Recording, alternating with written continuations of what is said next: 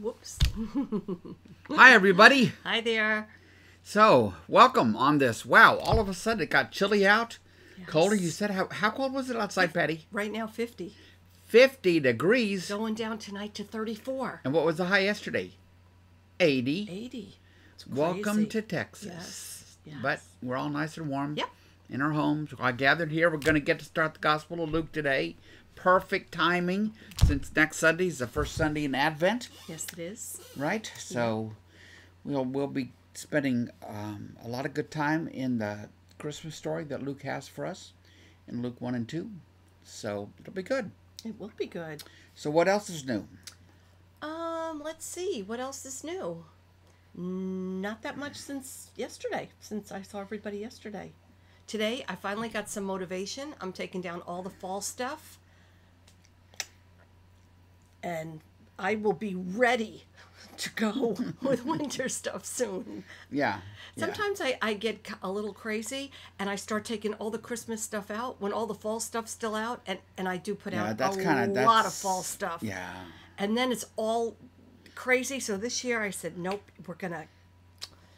When I say we're gonna, it means Patty's gonna put away all the fall stuff. We, we put up our always spectacular outside Christmas lights Yes, we did. We did. on Saturday. Yes. Figured it was probably time to do it We, it, while it was nice did. and warm. We put up lights where we didn't have to stand on any kind of ladders. Oh yeah. That was Oh yeah. We get that's that's those days are past. Yes.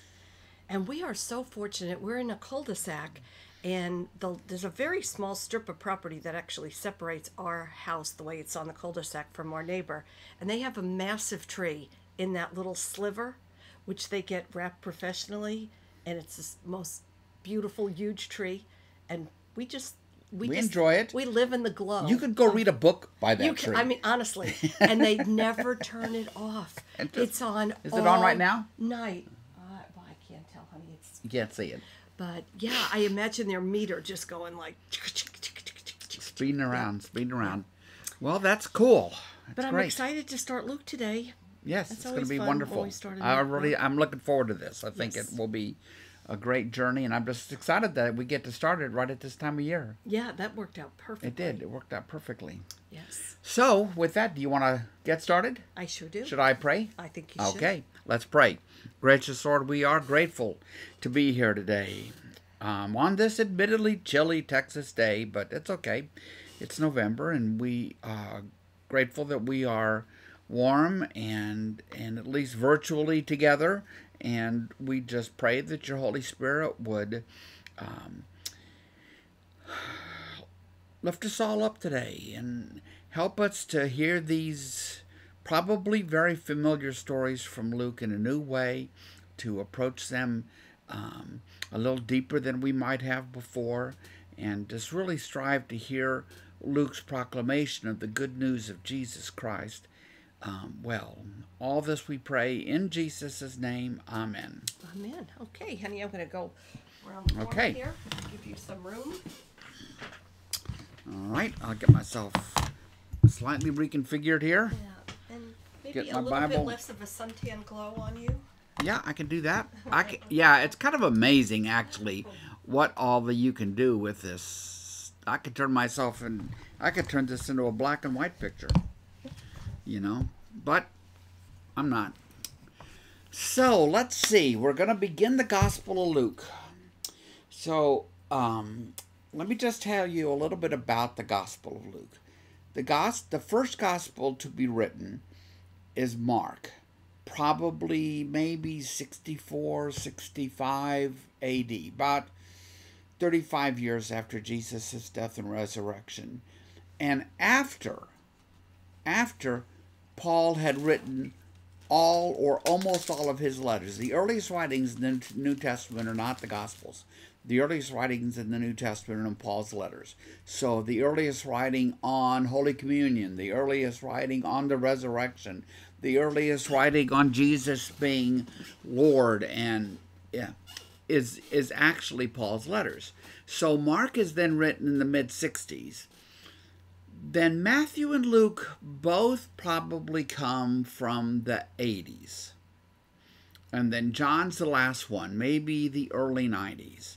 And so Luke is written um, maybe 50 plus years after Jesus' death and resurrection, which really isn't very long in the scheme of things. I mean, gosh, I was a grown person 50 years ago. Setting that aside, it's really not very long.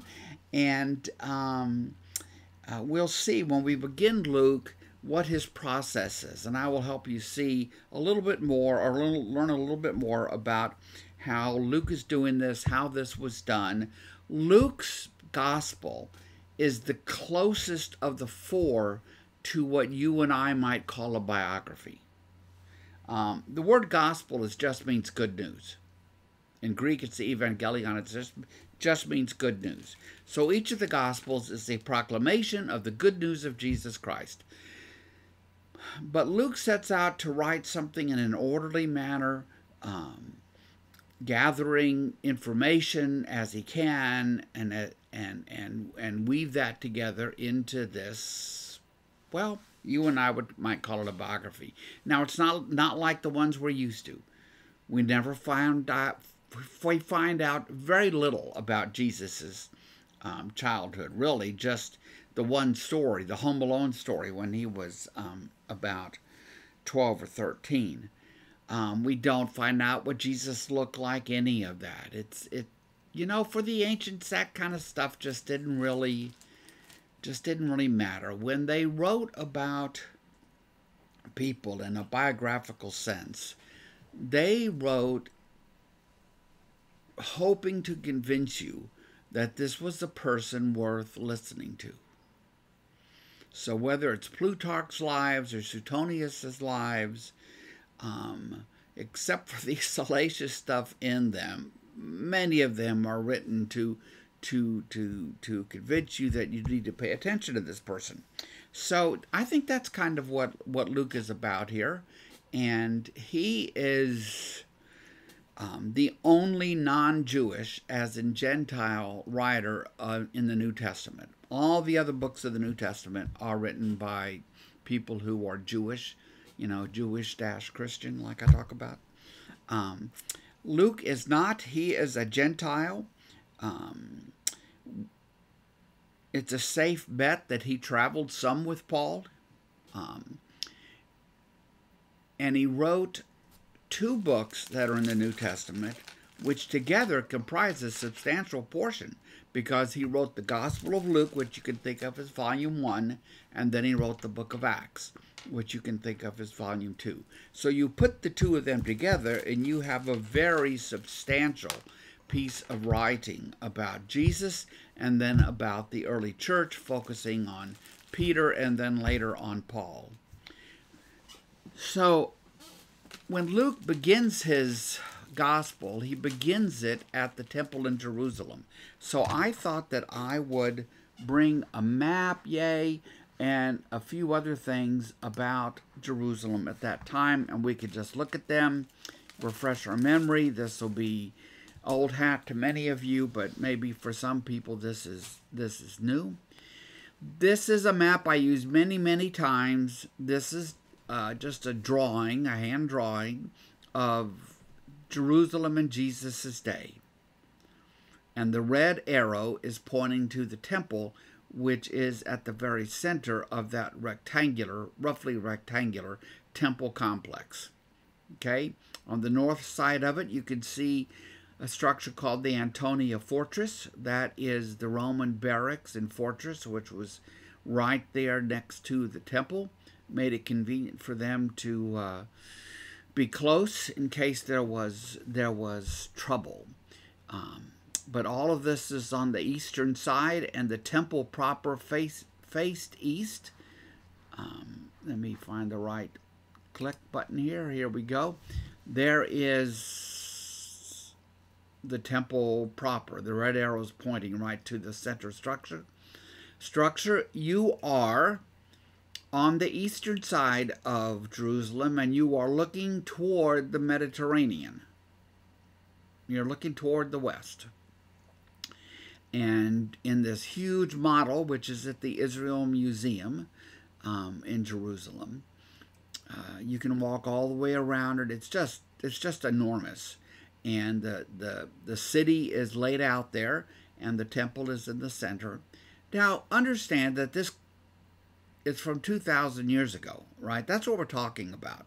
So, are the maps perfect? Do all the maps agree? Do all the descriptions agree? No. Was there a causeway linking the east side of the temple uh, running across the Kidron Valley?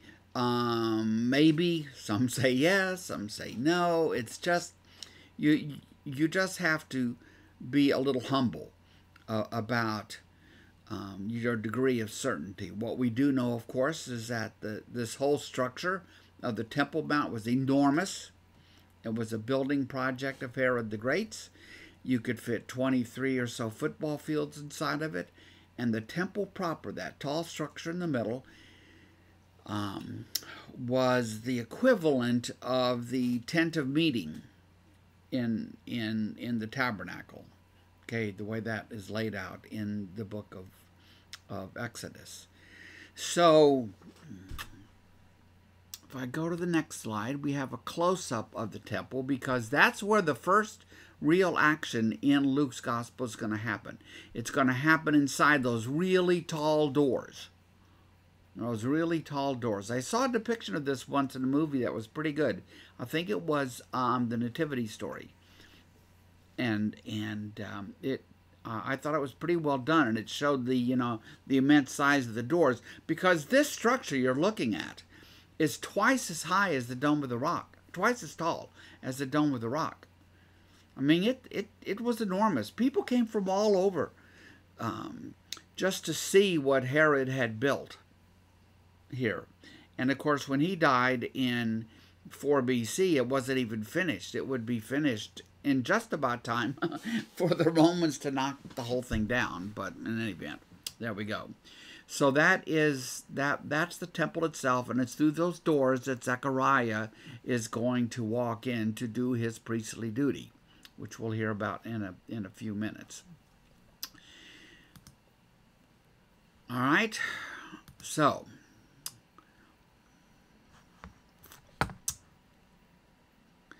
Most of the other introductory things I could say talking about priests and so forth, I think I'd rather just sort of embed them in the scriptures when we when we come to them. We'll talk about them. Um, but Patty, is there something else I should talk about? Anything you any questions you have? No, no, not, nothing yet, Scott. All good. All good, huh? All good. Okay. So with that, I'm going to suggest that we plunge into Luke chapter 1 verse 1 and as I have been I have been reading from the NIV, 2011.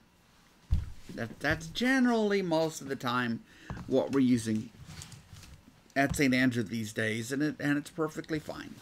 Can you tell us anything, Scott, about Luke, who wrote this? Not really. You know, some people will think of him as Luke the physician. We know he traveled some with Paul, but the focus is not on Luke. Indeed, all these writings are even anonymous. One scholar I respect a lot is Ben Witherington at Asbury Seminary. If he were here, he'd want to convince you that Luke was actually Jewish. Yep, he's kind of alone in that, but you know, Ben's a smart guy, and uh, you know, we wish we knew more than we do. We don't know much about Luke. I, you know, I, I think we there are certain things we can infer from even this brief introduction about the man, but uh, maybe that'll come out in these first um, four verses. Because the first four verses are where he is sort of laying out the project, okay? What he is about here. So he says, chapter 1, verse 1 Many have undertaken to draw up an account of the things that have been fulfilled among us. So that is a really interesting statement, isn't it? Many have undertaken to writ to to write an account. That means before him, there's the only ones that we have before Luke and Matthew is Mark. Were there other pieces of writing floating around? Seemingly so.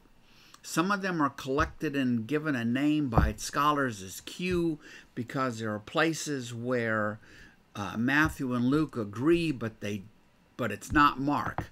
So, where did they get that from? So, it just, again, you wish you had all the answers, but we just don't. Um, you could write a fiction novel if you wanted to sometime about the discovery of something something new in an archaeological dig, you know, in Jerusalem or Egypt or somewhere Turkey or somewhere else that would affect all this. In fact, I think Irving Wallace did in a book in the 60s called The Word when they discovered, I think it was about a new, an hitherto unknown gospel. But in any event, so he says, many have undertaken to draw an account of the things that have been fulfilled among us. Now, even the choice of the word fulfilled is interesting. That's a theological word. If you're just writing, you know, maybe some newspaper account or something that that you'd like that that happened among us or to, that took place among us. But this is a theological idea, and the idea is that Jesus is the fulfillment of what came before. Right? Mm-hmm. That that the Old Testament, the Hebrew scriptures pointed us to something else, to someone else someone coming. And now that is, we know that's Jesus. In Mark's gospel, written maybe 20 years before Luke, the first words out of Jesus' mouth in Mark chapter 1, verse 15 are The time is fulfilled. The kingdom of God is at hand. Repent and believe in the good news. So so Luke says, "All right, so these things they've been they've been fulfilled among us, just as they were handed down to us by those from the first who from the first were eyewitnesses and servants of the word."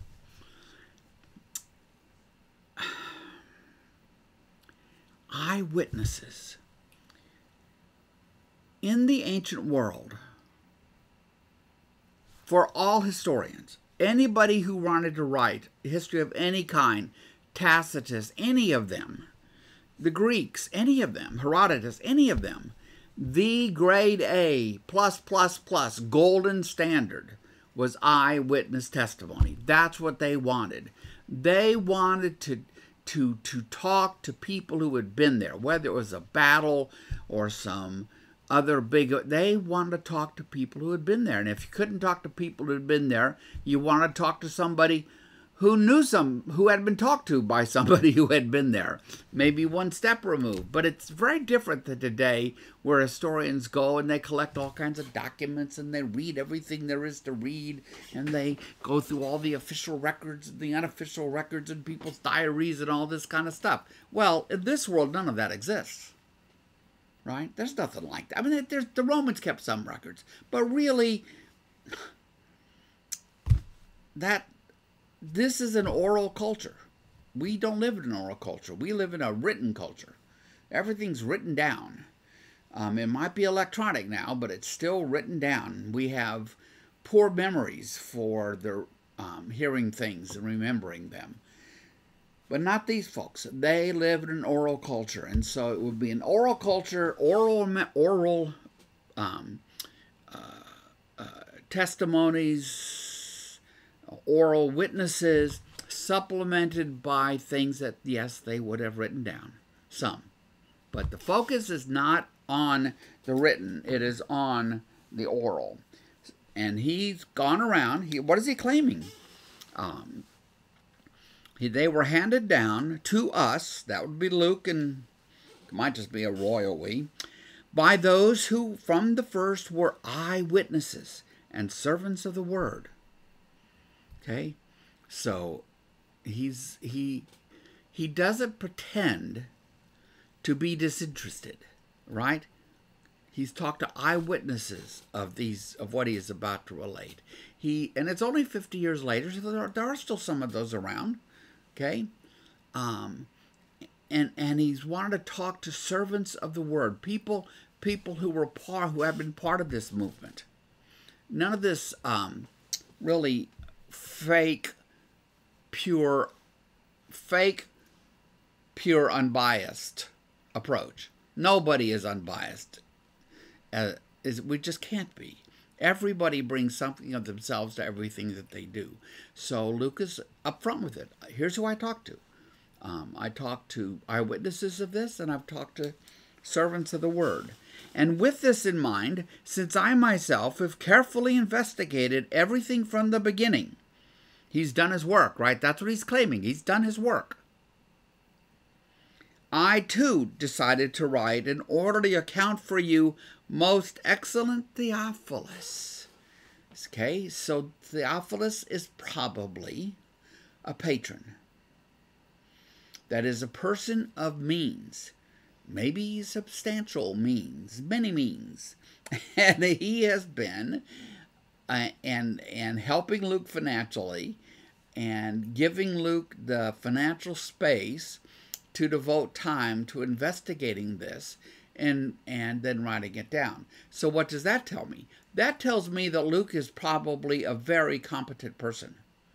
Because you have if you are this Theophilus and you are a person of means and you're to you're to you're to uh, perhaps hire someone to do this, which I which I I think is what is implied in this you're going to do it you're going to find somebody who is capable and competent in whom you in whom you can trust. And indeed, Luke is very much more concerned with some of the particulars about kings and offices and events and stuff than Matthew, Mark, or John. Luke is Luke Luke's a little different in that way. Um, so, but he has done this for Theophilus. And if most of the scholars have worked on this for many, many years are correct, he um, he's a Gentile.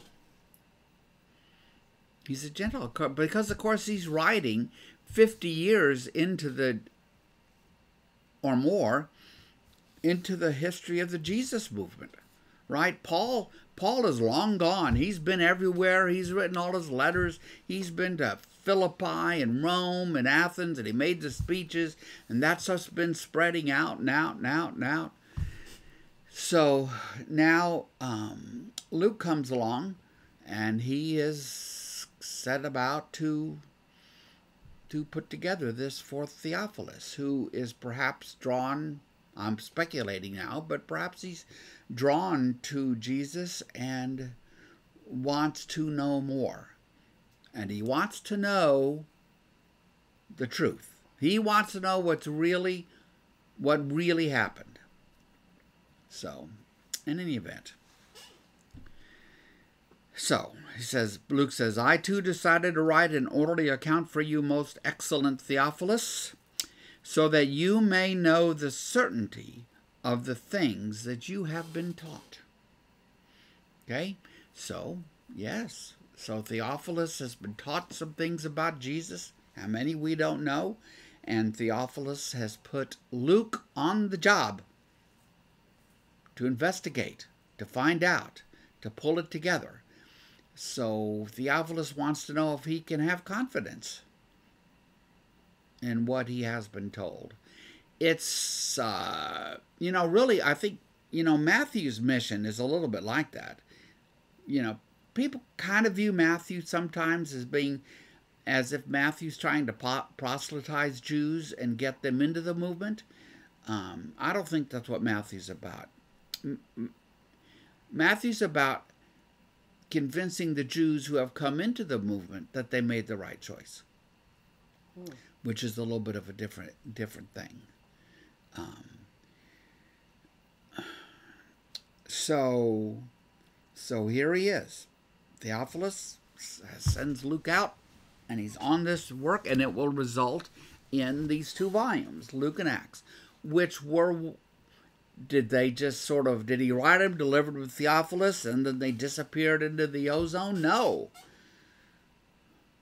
In some process, maybe Theophilus shared them, other people shared them, and it began to be copied and shared and copied and shared and copied and shared and copied and shared and emerges um, as sacred writings God breathed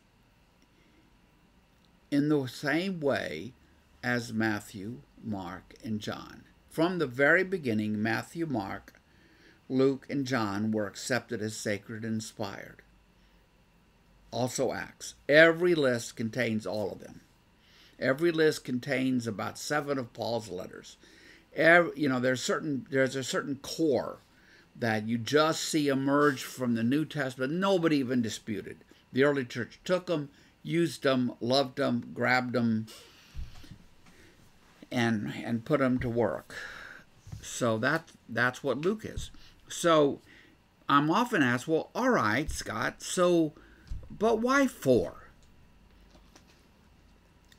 You know, because the truth, I, I think the truth is that you can find places in there where the four writers don't really agree on some of the details.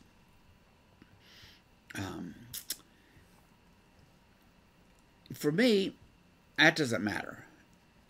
How many people ever all agree about details? What what matters is that in this you get four portraits of Jesus. So it, it's kind of like if you wanted to write uh, a biography of a person in our world, would you just talk to one person who knew him? No, you'd go out, you talk to other people to get a fuller and fuller picture. Well, that's what God has given to us, right? So we have four gospels, um, and and they all have their own themes. They all have their own points to make. Um, and they're all portraits of the one Jesus. So they are not redundant. They're just not. They're all they're all helpful uh, to us. Do they share material? Yes. Um, do Luke and Matthew have access to Mark? Sure seems so. Do they have access to some material that's not in Mark? Sure seems so, because there's places where Luke and Matthew agree word for word and it's not in Mark. So when Luke says, I'm going around collecting things, things he's serious. I've gone, I've talked to people, I've collected this, I've collected that, and I'm putting together this this this investigation for you, Theophilus. And that's just what he's done. So there you go. So Patty, what else? Okay, I just have one Yeah, little thing yeah, yeah. that I'm um, just um, I, I I think I know what you're going to tell me, but okay. So we go to back to verse two. Just as they were handed down to us by those who were first were eyewitnesses and servants of the word. So in this case, we are talking about being like the word being the gospel, being servants of what was Yes. being okay. That's why the NIV translators didn't capitalize it. Okay, because I was going to say, Yeah. of course, in John, he starts out with in the beginning was the Word. Yes. Same two words, but definitely referring to Jesus, not. The translators don't think he's referring to Jesus, or they would capitalize it. You mean Particularly in in Luke? In Luke, they don't, but In in, in Luke, they don't. yes, yes. because if if they thought that Luke was referring to Jesus, they would, but here they don't capitalize it, even for the NIV, which tends toward the you know the more conservative um, when it comes to translations. yes, So I think seeing it as servants of the gospel, servants of, is probably the best way to see it, really. The way. the way the way it's being spread out and, and shared and here we go. Because what's happening is you know what is being built actually by the holy spirit for the community of god's people what's being built is this library of writings.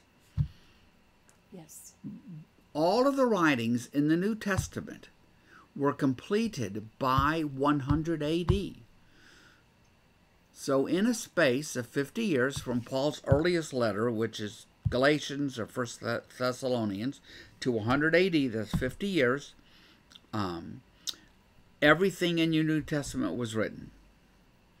Doesn't mean it's it it's spread everywhere. Doesn't mean everybody agrees about exactly what the writings, sacred inspired writings were, but but everything that the community ended up accepting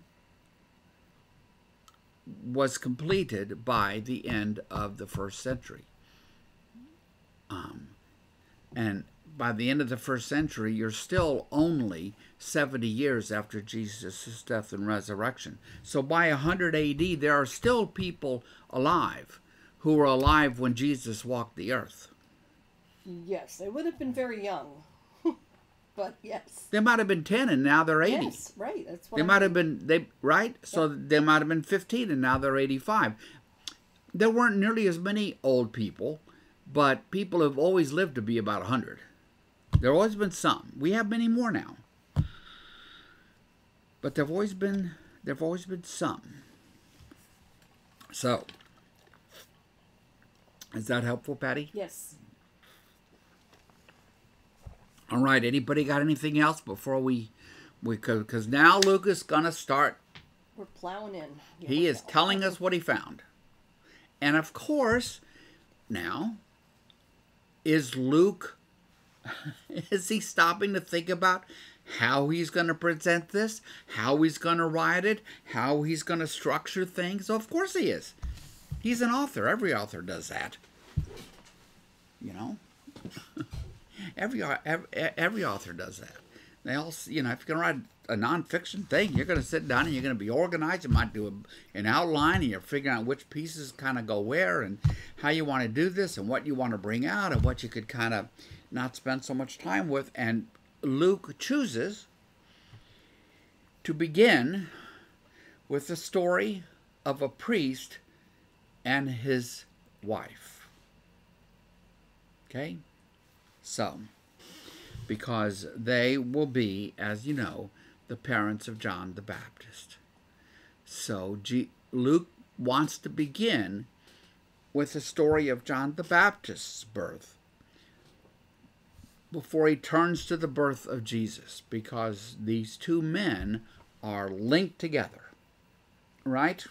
So, here's what Luke writes In the time of Herod, king of Judea. This is Herod the Great.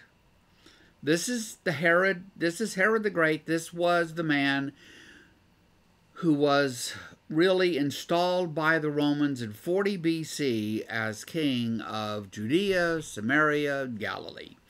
And he's called great not because he was a super duper kind of guy, but because he built major places, big places. He built Masada, he built Caesarea, he built the Temple Mount, he built Herodium. Was he a good guy? No. He was a terrible guy.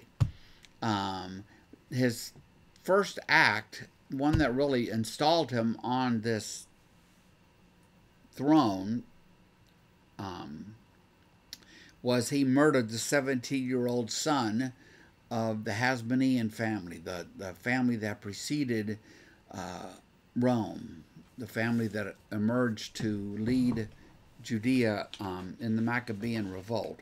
So and and so he was comfortable with violence, comfortable with murder. Um, it's said that he went mad. Um, but there's this famous line that one of the biographers says you know, um, Caesar, that the Caesar back in Rome said of King Herod, you know, you'd be better off being uh, a pig than one of Herod's sons, because Herod even had his own sons murdered and a wife before he hit the ground in a grave. So that's the guy. In the time of Herod, Herod the Great, king of Judea, there was a priest named Zechariah who belonged to the priestly division of Abijah. Let's pause there. There were a couple, several different groups of priests. There was, and they all traced their lines back to Aaron, the brother of Moses, who, who in turn were part of the tribe of Levi. So, um,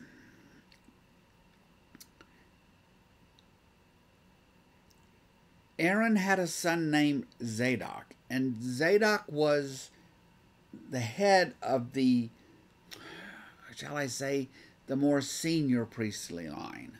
All right? Um, Then there were the Levites in general, who, yes, they were part of the priestly group, but they did the more mundane tasks required. Okay? In the middle, between sort of the dynastic head priest and the um, and the everyday Levites, there was this other class of priests, of which there were like 20, 20 divisions of them, and there were a lot of them. It's estimated there were maybe, all told, group them all together, 20,000 of them. Wow. 20,000. And and that's that sounds like okay, is that that many? Well, considering the population of Jerusalem's only 60,000 or so probably. Yeah, there's lots of them. There are lots lots of them. And uh, Zechariah comes from this division of Abijah. What's interesting, I didn't know this until I prepped for this class, in the listing of these 20 divisions, Zechariah's division of Abijah is followed by the division of Yeshua, which is the Jesus' name, because it's just Joshua. That's all Yeshua is. It's Jesus in Greek or in English, you know, um, Joshua, and and so even there, John the Baptist precedes Jesus, even in the priestly ordering. In this, Zechariah is from the division just before the division that would bear the name that angel Gabriel would say this is to be Jesus' name. I thought that was very cool. It is. Yeah. So that's who he is. Now, does this mean he's a super important kind of guy? No, it doesn't mean he's a super important kind of guy. There's, he's just one of a lot of guys who are who have their little priestly job and supported and however they were supported in his particular you know grouping within within the uh, priestly group. Now his wife Elizabeth was also a descendant of Aaron. Wow, so she also comes from a priestly line. Okay, so we have Zechariah from a priestly line, his wife from a priestly line. That is, let me tell you, that is pretty serious stuff. They're a power couple. Well, I don't know, but let me just let me just talk about their their setting aside issues of pow, of money, wealth and power and all that kind of stuff. The fact that they both come from a priestly line really does elevate their status a lot. Okay? Status in this world is not about money. Um, for the Jews, it was the, there was this priestly connection, right? And so, all right, so you have these two people, both descended down the line from the line of the priests and so forth. It's it's okay. They are, you know, they are kind of special. Both of them, verse 6, both of them were righteous in the sight of God.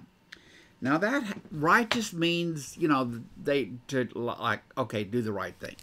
But it has a more particular meaning that comes from the Hebrew scriptures. A righteous person is a person who follows the law of Moses with a pure heart. They don't do it begrudgingly. You know, I don't want to do this, but I'll do it. They do it out of a good heart, out of a pure heart. And that is said here of Elizabeth and Aaron. In, Gos- in, in Matthew's Gospel, it is said time and again about Joseph, Jesus' stepfather. So, You meant Zechariah, but you did say Aaron. what did I say? You said both Elizabeth and Aaron. Yeah, You I'm meant Elizabeth and Zechariah. Zechariah. So I'm prob- my eye is probably falling on the word Aaron I know. You're Yeah, that's probably okay. Missing that one spot. Nope, right there. nope, nope. It's just I don't know. Just a senior moment, darling. I have so many of them now. I lose track of them. Verse six. So both of them were righteous. So all right. So they priest, priestly line, priestly line. They're both righteous, and these are good people that had status in front of others because they were righteous. They were seen by others as following the law of Moses with a pure heart. The husband from a priestly line, the wife from a priestly line. You figure that blessings must just be pouring out on these people. Because they were observing, look at the last half of verse 6 observing all the Lord's commands and decrees blamelessly. I mean, really. Oh. then, verse 7 But they were childless, and boom. It's like boom, the hammer falls. All the status, all the righteousness, all of that, observing the commands blamelessly, and they have no children. In the ancient world, that was 100% seen as the woman's problem. She was, in the old words, she was barren. And it was a burden on a woman in two ways, three ways. Because of the shame it brought on her, it brought why shame? Shame because she must have done something to offend God, such that God kept her womb closed and did not allow her to have children. Secondly, she just missed out on the joy of children. Right? So this couple who are are are um, we're about to hear are very old. That's been a great sadness in, in their lives. And of course, if if you if if you know the Old Testament, then you know that well, there were other barren women, weren't there? Sarah, Abraham and Sarah. Sarah, Sarah, they were childless and they were really old, and they laughed at the idea of Sarah getting pregnant, but she did. Right? The the the closest tie to this, really, as we'll see, um, is probably to Hannah. Hannah is, is the mother of Samuel.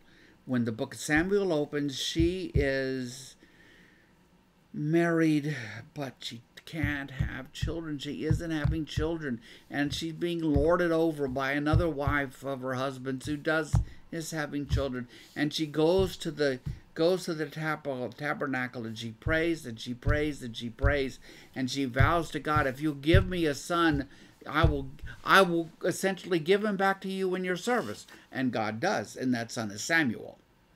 Right? The first one really the first great prophet at the time of the judges. That's Samuel. Um, interestingly, that is why Arthur and Becky's son is named Samuel. She had we went to um, uh, Shiloh in Israel, and the, they were so moved by this story that they named their first their first child, a son, Samuel. So we have these stories of women who are childless and are rescued from their childless, as it were, by whom? By God. By God. So if you know your Old Testament stories, about women who had not born children, then you're ready. You're kind of primed to be thinking, okay, something's something's going to come of this for these two. Because go on, look at this. It's almost like a replay of Abraham and Sarah. But they were childless because Elizabeth was not able to conceive, and they were both very old. Mm-hmm. So whenever I teach this, and I have, you know, I'm doing, or I used to do when I when I preached, and I would preach about it. Yeah, I'd have a picture of a really old guy and a really old woman, all wizened and gray, you know, and wrinkled and everything, and and you know, so just to drive home the point. I mean, it doesn't, even just say they're old. It doesn't even just say like their past childbearing years or something. They're both very old. Old, old, and old. But now, God does work in amazing ways, and He has before. So, what are we being prepared for?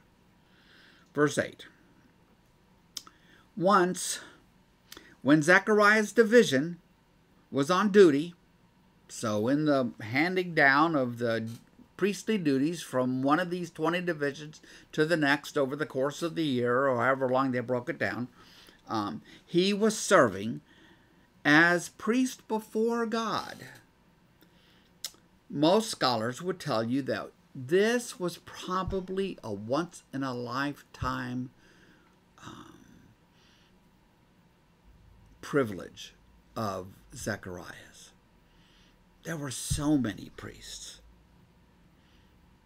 that this might have been, this might be the first time that his name came up where he would be the one to go into the temple.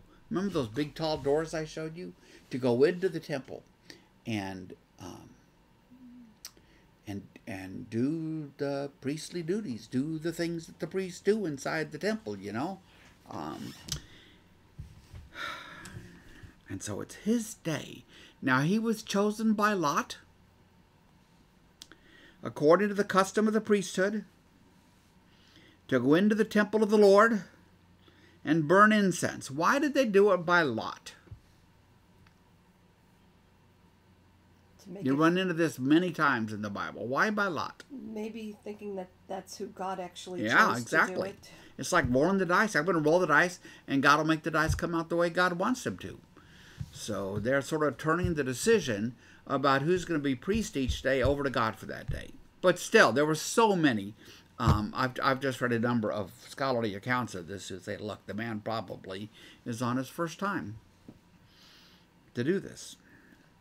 So anyway, he's chosen by lot according to the custom of the priesthood, and he to go into the temple of the Lord and to burn the incense. You know, incense is incense is not something I care for very much. You know, uh, I, I know people do, but I, I never really cared that much for the scent of incense. But you know, it would be the idea is that the priest is sending up an aroma that is pleasing to God. And that God would smell it and God would be pleased. You know, it's so funny that in the he, in the Old Testament, the Hebrew, we come across a phrase, God is slow to anger. This always cracks me up when I have to think about this. God is slow to anger. In the Hebrew, it's actually God has a really long nose. because from the time that he smells trouble, he has time to kind of cool down before he does anything about it. So he's slow to anger. Yeah, actually, truly, it's one of those euphemisms uh, in in in the Hebrew that just is it's just just funny to me. So they're going to burn the incense. It's going to be a pleasing aroma to God. This is the kind of thing they send priests in to do. And remember, this is hard for us. The temple, the priests, the sacrifices that would happen there, those are all the very center of this religion. Not rabbis, not synagogues, not even the written word. It is the temple, the priests, the sacrifices. That is the beating heart of Judaism in Jesus' day, and it would be until the temple is destroyed in 70 AD. When the temple is destroyed, then Judaism changes. It has to because there's no temple, there's no priests, there's no sacrifices. So it becomes a religion built around rabbis, synagogues, and, well, where two or three gathered together to study Torah, there is God. That's what it becomes, but that's not what it is in Jesus' day. In Jesus' day, the closest you can get to that is the Pharisees. Um, so after the temple's destroyed, Judaism really, really becomes what scholars would call a, a Pharisaic Judaism, because it, it's much more like what the Pharisees taught and did, because there was no temple after 70 AD, and no more priests, no more sacrifices.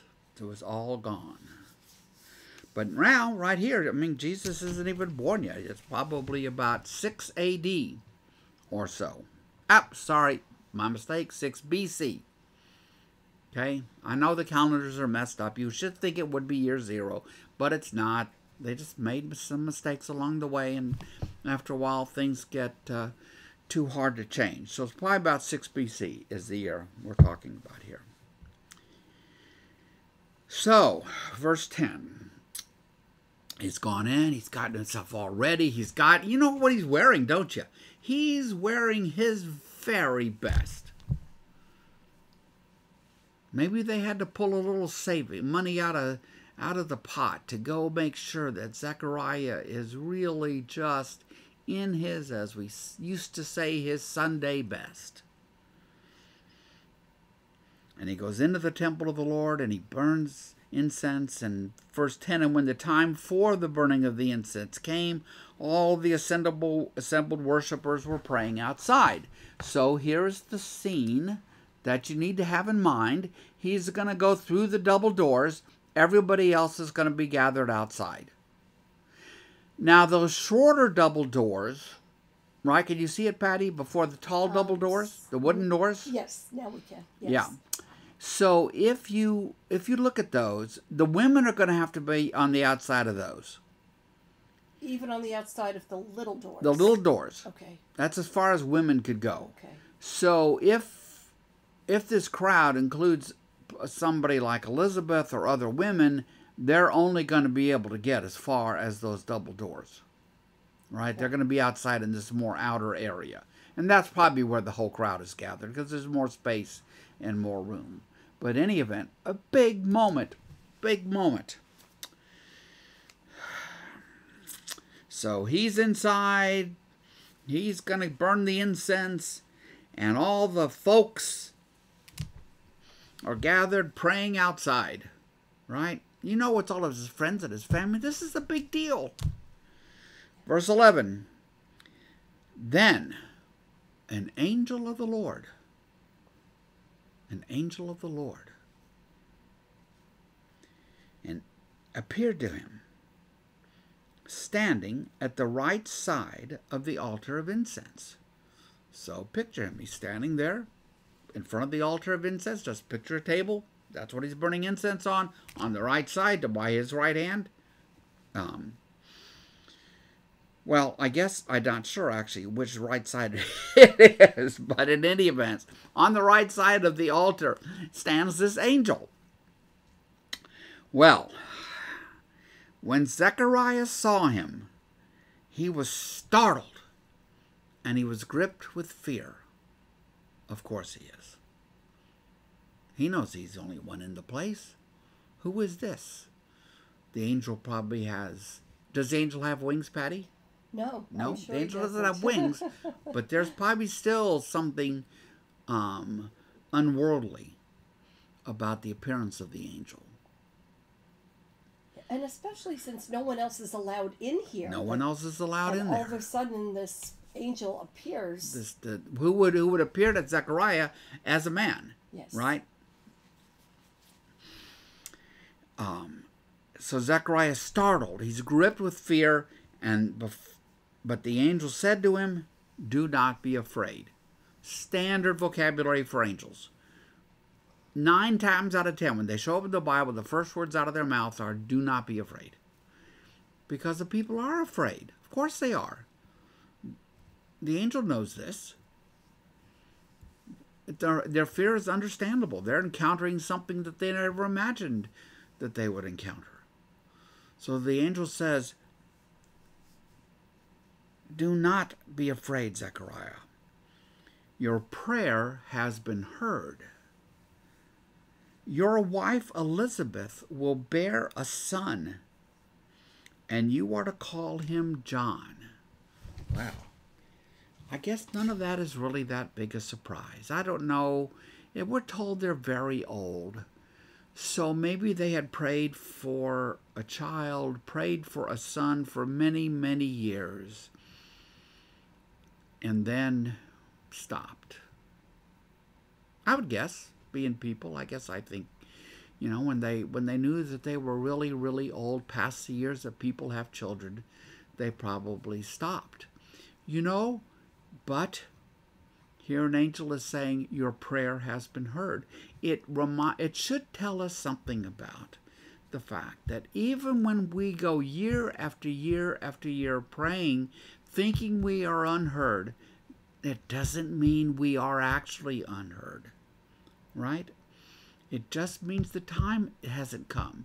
Here it is. Because God could have come to them 30 years before and given them a son. But no, now is the time.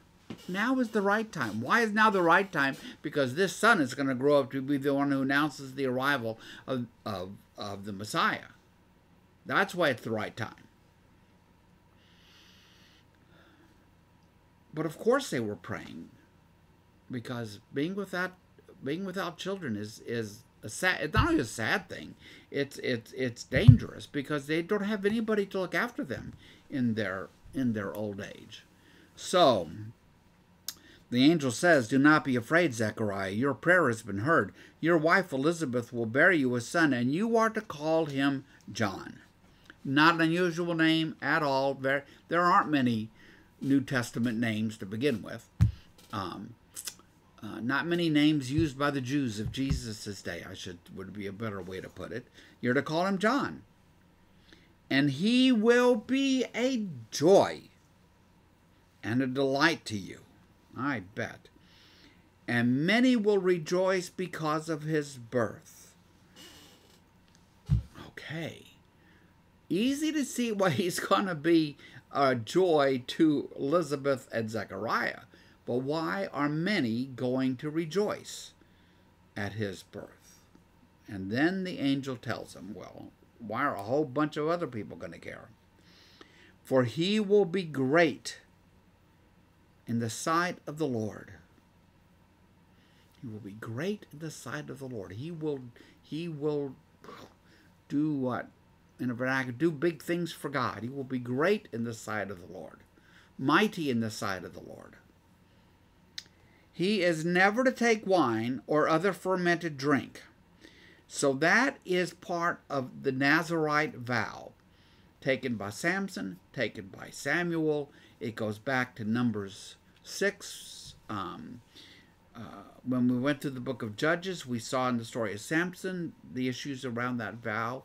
Um, and so John the Baptist is going to be raised under that vow.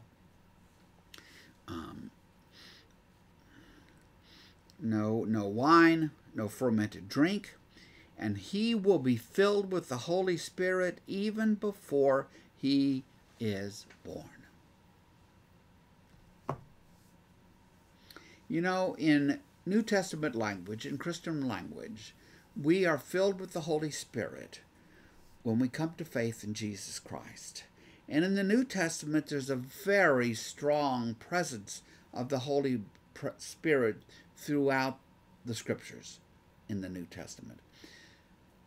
The Holy Spirit is, of course, present before Jesus. I mean, there, there, the Holy Spirit is God, God has always been, is now, and always shall be. So the Son always has been, is now, and always shall be. The Spirit is how always has been, is now, and shall be. The same is true of the Father. But the Spirit is not as evident um, in the Old Testament as in the New. And here, the Holy Spirit is going to to fill this child before the child is even born. And I'm thinking of my brain is going to Jeremiah, who is called by God even when Jeremiah was in the womb. You know, that should shape our thoughts about things like abortion. Right? Here is John is going to be filled with the Holy Spirit before he's even born, like Jeremiah, you know, known before Jeremiah, while Jeremiah was known but by God, while Jeremiah was still in the womb. Going on about John, he says, He will bring back many of the people of Israel to the Lord their God. And he will go on before the Lord and the spirit and power of Elijah. See, Elijah is one of the great prophets in the Old Testament, not one of the writing prophets. There aren't there is no book of Elijah. But you get the story of Elijah in in the book First Kings, which I'm going to be starting in a few couple of weeks in on on Tuesdays. Um, you get the story of Elijah, and it's a powerful story. And Elijah is a powerful prophet for God, bringing God's word to God's people, demonstrating God's word for God's people. And uh, as you know, probably know, Elijah in the book of Kings does not die. It, he, he's taken up to heaven in a fiery chariot, yeah, but there's nothing recounted about his death. And so, not surprisingly, I guess, there were a lot of Jews in Jesus' day who were expecting the return of Elijah. And in a way, that's happening. John the Baptist is is Elijah returned in that sense. Okay? He is going to be the one who speaks for God. He is going to be the one to announce the coming of the Messiah. John will spell all this out for us himself when we get that far. But for now, um, the angel's telling Zechariah these these amazing, stupendous things. He will go on before the Lord in the spirit and power of Elijah to turn the hearts of the parents to their children and the disobedient to the wisdom of the righteous. Right? What are those both focused on? Relationship. Um, wisdom the doing of things in God's way. That's what that's what means to be righteous. To be righteous is to, is to do things in God's way. And the disobedient to the wisdom of the righteous and the hearts of parents to their children. Um, you know, doesn't that strike you as kind of funny? That the angel would say, turn, turn the hearts of parents to their children? It strikes strikes me as funny strikes us, I think a lot of us probably, as funny because we live in a time when the world revolves, seems to revolve around children. The idea that you'd have to turn a parent's heart to their children seems funny, odd, not, not as it is. However, their world is not our world in this regard. Children, half of the children born did not live past the age of five children were generally seen as burdens because they had to be fed. It's it's a different it's a different thing now. Now the Jews were somewhat different from their neighbors in this. Um, Roman in the Roman world, they practiced infant exposure, which is where if you didn't want to keep your child, the husbands could say, "Well, take the child out and leave the child under a tree, and somebody will come along and get him." We have no no record, nothing in the writings of any kind that indicate Jews practiced infant exposure, but still, their life with children is not our life with children, is my point. But the overall purpose of John, this child who is yet to be born, who will be filled with the Holy Spirit before his birth, is in that last phrase to make ready a people prepared for the Lord. For the Lord. And of course, you and I know who the Lord is. Yes. Who is the Lord that, that the angel is speaking of? Jesus. Jesus. Exactly. Jesus. Um, so, even before his birth, he is filled. John is filled with the Holy Spirit, and he has a vocation. He has a mission. He has a purpose. And all of this has been revealed to his father by an angel standing right there in front of him. Wow. Verse 18 Zechariah asked the angel, How can I be sure of this? I'm an old man and my wife is well along in years. Meaning we're too old. We're who are we're Abraham and Sarah. But you see, What mistake is Zechariah making? His mind is probably blown, and he has forgotten all about Abraham and Sarah, Yes. and he's forgotten about Hannah, and he's forgotten about Rachel, and he's forg- forgotten about these other ancestors of his own who were burdened with their childlessness and then were rescued by God. Perhaps if he remembered on the spot Abraham and Sarah, he wouldn't he wouldn't say, "Oh, come on. How can I be sure of this?" He would trust the angel implicitly, which is what what that's really what God wants from us. We Christians kind of mess that up a lot. We we you know, if you ask somebody, "Well, what does Jesus want from you?" oh man, we start to load it up with stuff, and, and it's a lot of it's good stuff. Sure, sure. Um, evidence of fruit of the spirit. Sure, sure, sure, sure, sure. All out a lot of good stuff. But when you get to the heart of it, what does Jesus want from us? That we will trust Him implicitly.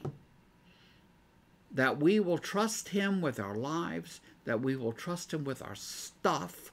We will trust Him with our families we will seek seek him trust him put our faith in him because jesus knows that there is no other place there is no one else there is there isn't there isn't and so what does what does what does god want from zechariah right now he just wants zechariah to look at the angel and say okay, let's go. And who will do that? You know, you, you know these Christmas stories. Who will do that? Who will simply say, let it be. Mary. Let's go. Exactly, Patty. and, and Joseph. Mary. actually. Yeah, but yes, Joseph too, but Mary famously Yes. when she says, "Well, let it be." Just, okay. Okay, let's go. That's what Zechariah should have done. But he doesn't. Well, Yeah, I know. let's kind of be honest here. They do, t- you know, we get this little introduction to about Zechariah and Elizabeth that, that they are both really good people Yes. and righteous in God's eyes. Yes. But what he's being told is just so outrageous that it's just Yes. hard for him, you know. I'm I will grant you that. I will grant you all of that, Patty. And he But- probably doesn't put himself in the same. I know you said like, well, if he thought, thought to himself, think about Abraham and Sarah, but maybe Zechariah is just such more of a humble man where he can't even think to compare himself to that. Well, I'm not them. Oh my Or- gosh, we're talking about Abraham. Or maybe on this particular day when he's all dressed up in his best priestly dudes, he's not humble enough. Could be, yes. See? Because who does get it? This humble 14 year old girl from Galilee, Right. right? So, and I hear you, Patty, but in any event, God knows our heart, right? Yes, he does. So the angel said to him, I am Gabriel. I stand in the presence of God. That's who I am. I am Gabriel. I stand in the presence of God. And I have been sent to speak to you and to tell you this good news. Dude. Come on. Come on. And now, you will be silent, which means mute in this case, and not able to speak until the day this happens. Because you did not believe my words. You did not trust my words. That word, that believe word there, that's pistis underneath. You did not have faith. Now, we could argue about whether the reasons he might not, but God knows our heart. God's expectation of Gabriel is that, of Zechariah is that he will simply say yes, as indeed Mary does. So, I mean, it's the, all that's going to happen is that Zechariah is not going to be able to speak. Now for guys, that's not that big a burden anyway, right, Patty? I mean, really.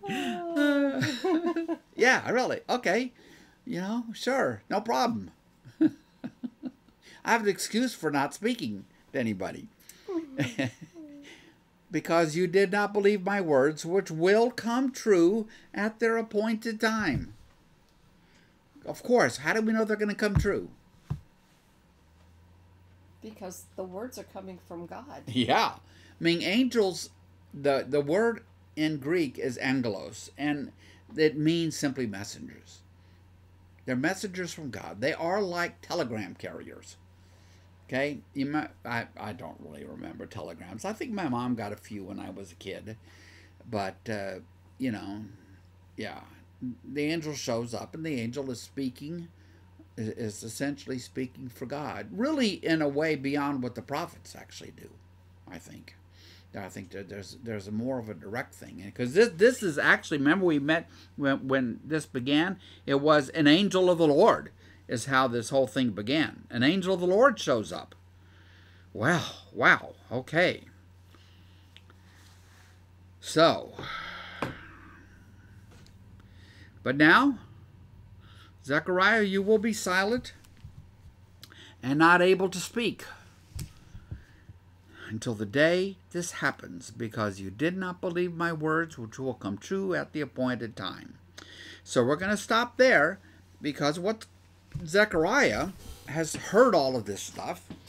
He can't speak about it, and the whole crowd is waiting for him outside.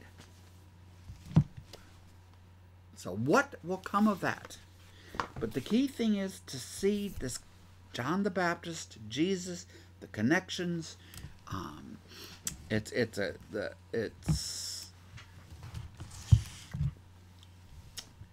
I think if we didn't have Luke's gospel, we would not have nearly as deep an appreciation of John the Baptist as we as we do. Okay, so yeah. Anyway, we'll we'll pick up there next week. Yes, it, it is it is sad. It's kind of like we we talk about that we wish we knew about Jesus more. We've got his birth, we've got the 12 year old story, right, and then we have his. He's um, 30 years old. Yes. When he right, hits the scene. And it kind of is what happens with John the Baptist. Yeah. We've, we, we know he's going to be born. We know what happens when the babies sort of meet. Meet. Yes. And next thing we know, he's in the Jordan River baptizing people. Yep.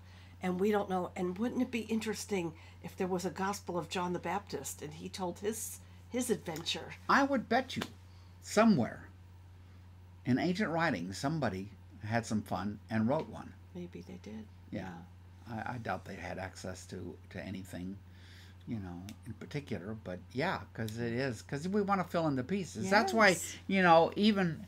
Um, even though you might call this sort of like an ancient biography, they just weren't like what we write now.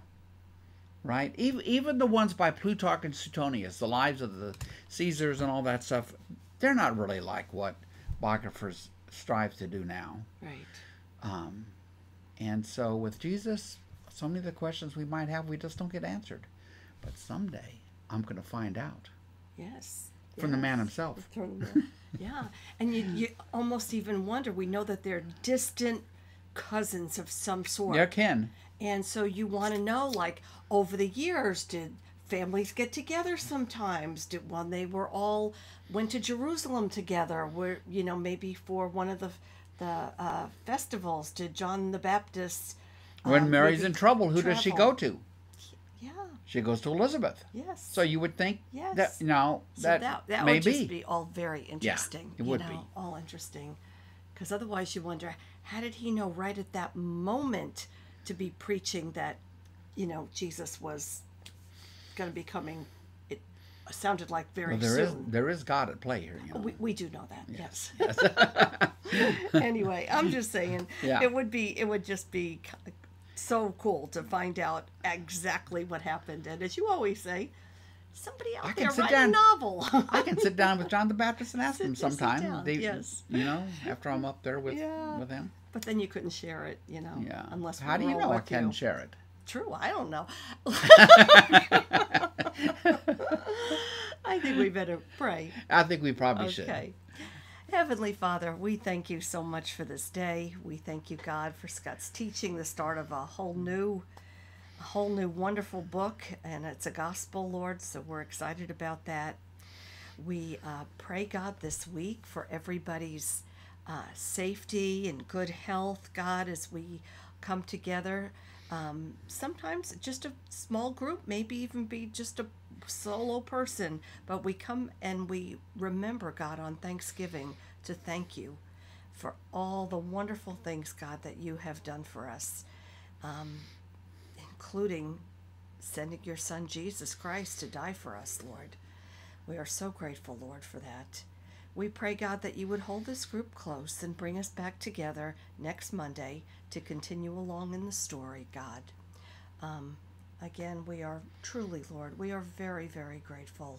And um, just help us, God.